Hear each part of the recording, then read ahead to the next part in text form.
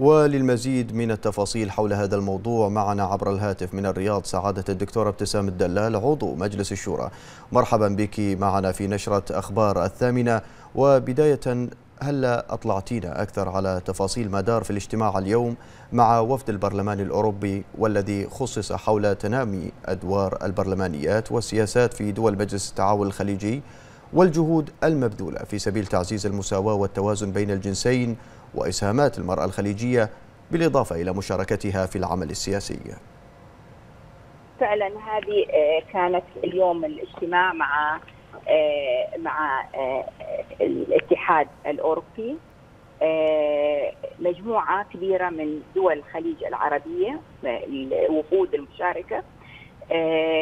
شارك من البحرين أيضا الأستاذ دلال الزايد من مجلس الشورى رئيسة اللجنة التشريعية وشاركت أيضا السيدة زينب عبد الأمير والدكتورة مريم الضاعن الحقيقة إنه فعلا كان في ثلاث محاور كما ذكرت تنامي أدوار البرلمانيات وجهود مبذولة في سبيل تعزيز المساواة وأيضا الحث على زيادة النساء في العملية السياسية.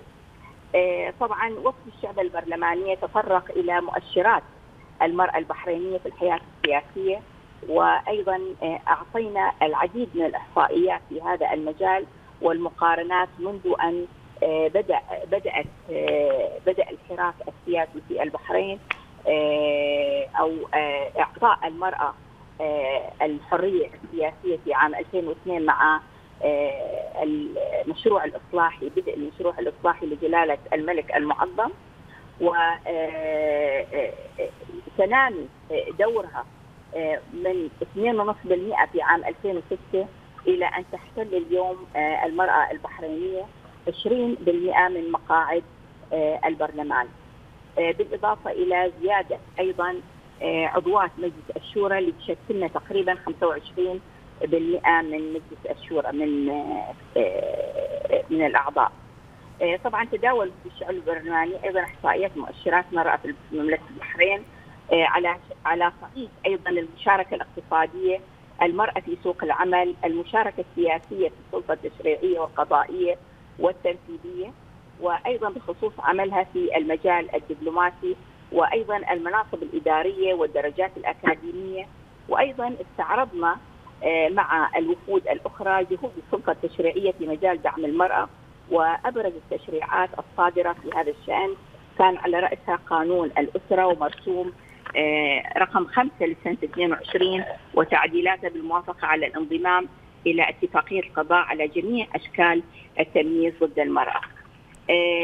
طبعا الجميع يعني جميع الوفود استعرضت دور المرأة في دول الخليج العربية نعم. ويبدو أن هناك ستكون أيضا لجان مشتركة لدعم لدعم عملية النهوض بالمرأة وقد بينا خاصة بالنسبة للبحرين أن اننا تجاوزنا موضوع التمكين ودخلنا في موضوع تقدم المرأة ونهوضها وتبني برنامج الحكومة إلى الاحتياجات إلى احتياجات المرأة وأيضا ركزنا أو سلطنا الضوء على دور دور المجلس الأعلى للمرأة برئاسة صاحبة السمو الملكيه الأميرة سبيسه بنت إبراهيم الخليفة نعم. ودور المؤسسات الأخرى في دعم العملية السياسية بالنسبة إلى المرأة في مملكة البحرين. نعم من الرياض سعادة الدكتورة ابتسام الدلال عضو مجلس الشورى شكرا جزيلا لك